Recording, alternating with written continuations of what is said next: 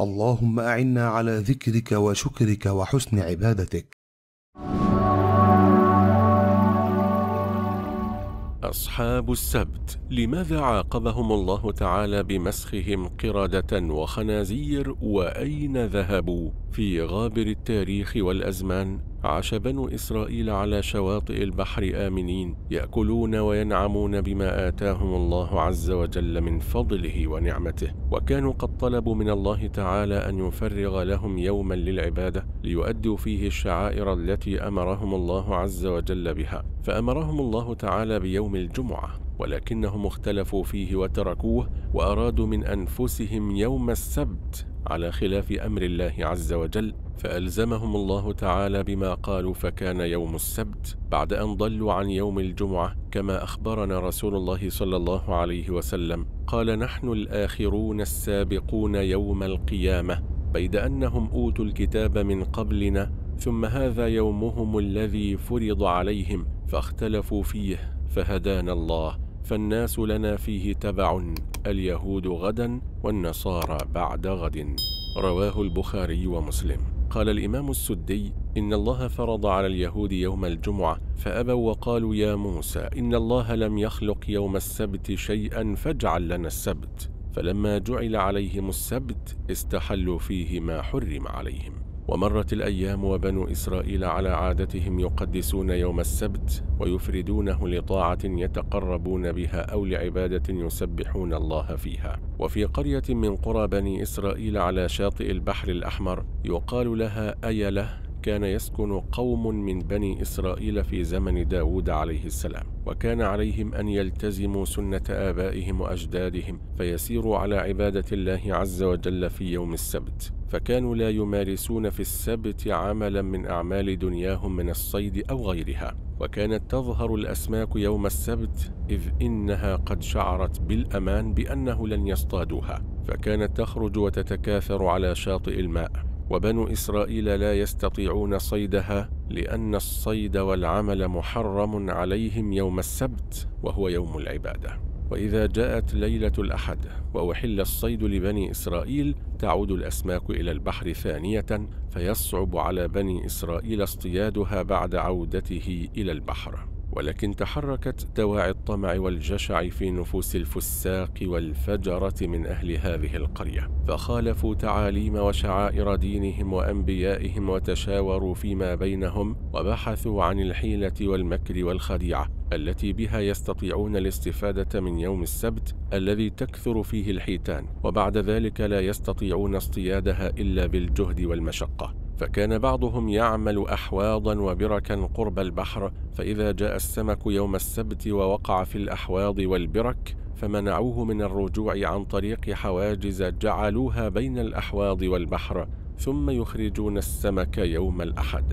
وبعضهم كان يضع المصائد والشباك يوم السبت فيقع فيها السمك ثم لا يخرجها إلا الأحد تحايلا ومخادعة بدعوى أنهم لم يصطادوه يوم السبت. فكانوا يتحايلون بحيل شيطانية صبيانية لا تخيل على أحد ولكنهم يتحايلون بها. هؤلاء السفهاء يتحايلون بها على رب البرية سبحانه وتعالى وهو السميع البصير العليم الحكيم اللطيف الخبير. وهو الذي لا تخفى عليه خافية. ولذلك حذرنا رسول الله صلى الله عليه وسلم من أفعال بني إسرائيل فقال صلى الله عليه وسلم لا ترتكبوا ما ارتكبت اليهود فتستحلوا محارم الله بأدنى الحيل. فغضب الله عز وجل عليهم ولعنهم لما احتالوا على خلاف أمره ومكروا وخدعوا أو تخادعوا وانتهكوا محارم الله عز وجل بالحيل التي تظهر جلية للناظر بالعين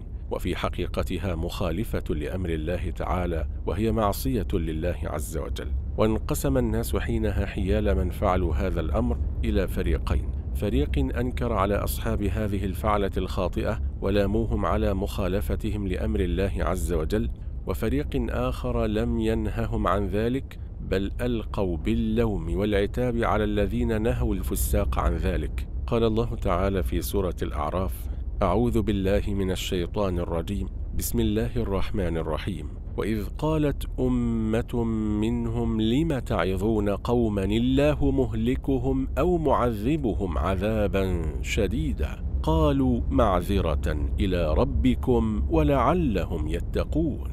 فلما لاموهم على نهيهم لهؤلاء عن صيد الأسماك وسألوهم عن السبب قالوا لهم لنعتذر إلى ربنا عز وجل.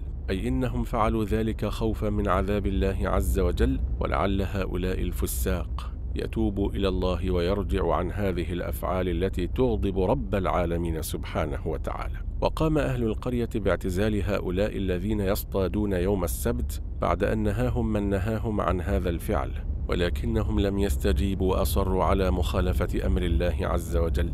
بالصيد يوم السبت فاعتزلوهم وضربوا بينهم بسور خشية أن ينزل عليهم جميعا العذاب فيعمهم جميعا. فكانوا يبيتون وحدهم ويغلقون بينهم وبين هؤلاء الفساق أبوابا خوفا من عذاب الله عز وجل الذي سينزل بهم. فأصبحوا ذات يوم ولم يفتحوا أبوابهم ولم يسمعوا لهم صوتا ولا رأوا منهم أحدا. فعلى رجل منهم السور الذي بينهم فقال أي عباد الله قردة والله تعاوي لها أذناب مسخهم الله قردة. ودخل الناس عليهم يعرفون الرجل بعينه وإنه لقرد والمرأة بعينها وإنها لقردة. وعرفت القردة أنسابها فجعل القرد منهم يأتي نسيبه من الإنس فيشم ثيابه ويبكي. فيقول الإنسي لهم ألم ننهكم عن ذلك؟ فيشير القرد برأسه أي نعم. قال الله سبحانه وتعالى في سورة البقرة. ولقد علمتم الذين اعتدوا منكم في السبت فقلنا لهم كونوا قردة خاسئين.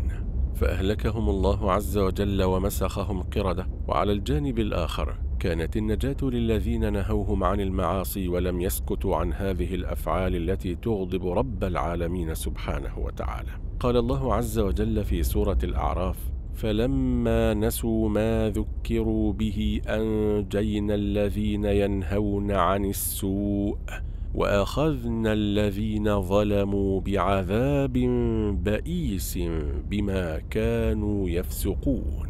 أصحاب السبت أعملوا عقولهم فيما ضرهم ولم ينفعهم حيث إنهم فكروا واخترعوا الوسائل التي يحجزون بها الأسماك ويتحايلون بها على رب الأسماك. وعلى أحكام الله عز وجل. وكذلك بعض الناس تراه يبدع ويبتكر في معصية رب العالمين سبحانه وتعالى أو في التحايل والمكر على أحكام الشرع. ولكن المؤمن المسلم دائما ما يرضى بحكم الله عز وجل وشرعه فيما نهاه عنه الله عز وجل ورسوله صلى الله عليه وسلم فينتهي عنه دون محاولة الالتفاف أو التحايل على الأحكام الشرعية. قال الله عز وجل في سورة الأحزاب وما كان لمؤمن ولا مؤمنة إذا قضى الله ورسوله أمرا أن يكون لهم الخيرة من أمرهم ومن يعص الله ورسوله فقد ضل ضلالا مبينا اللهم اهدنا صراطك المستقيم وثبتنا عليه يا رب العالمين. اللهم يا مقلب القلوب ثبت قلوبنا على دينك. اللهم يا مصرف القلوب صرف قلوبنا على طاعتك. اللهم ربنا لا تزغ قلوبنا بعد إذ هديتنا وهب لنا من لدنك رحمة إنك أنت الوهاب. اللهم جنبنا الفواحش والفتن ما ظهر منها وما بطن. اللهم ثبتنا بالقول الثابت في الحياة الدنيا وفي الآخرة. وأعنا على ذكرك وشكرك وحسن عبادتك. وارزقنا حسن الخاتمة والفردوس الأعلى من الجنة بغير حساب ولا سابقة عذاب برحمتك يا أرحم الراحمين. وفي الختام لا تنسوا مشاهدينا الكرام تسجيل إعجابكم بالفيديو والاشتراك في القناة وتفعيل زر الجرس ليصلكم كل جديد منا إن شاء الله. سبحانك اللهم وبحمدك نشهد أن لا إله إلا أنت نستغفرك ونتوب إليك. هذا والله تبارك وتعالى أعلى وأعلم. وصل اللهم وسلم وبارك على سيدنا محمد وعلى آله وصحبه أجمعين. دمتم في رعاية الله وأمنه. والسلام عليكم ورحمة الله وبركاته.